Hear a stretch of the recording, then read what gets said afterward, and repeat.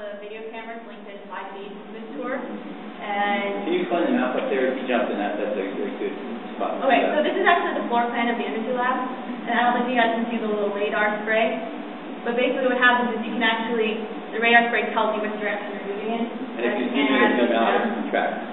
Yeah. Yeah. So that's, um, you can either follow the hotspots to go to each different room, or you can just take the map and you can click on the room that you want to to. So, you want to go to another room? Question, so then the hotspot switch you've here is similar to when we're coding in like, say, Dreamweaver, we're highlighting a spot, we make it a link, and it goes to another area. Exactly. Okay. Yeah, yeah, good example.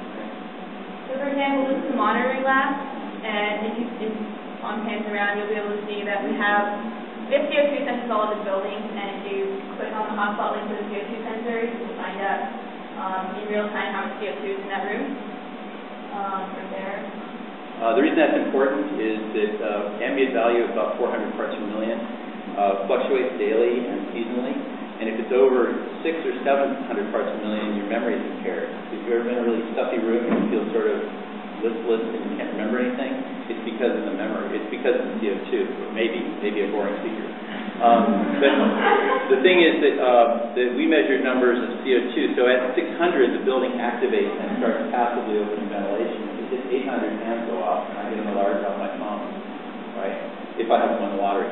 Then if it, at that point, um, it actually goes into a, a heavily ventilated thing to clear the room. Now, we measured numbers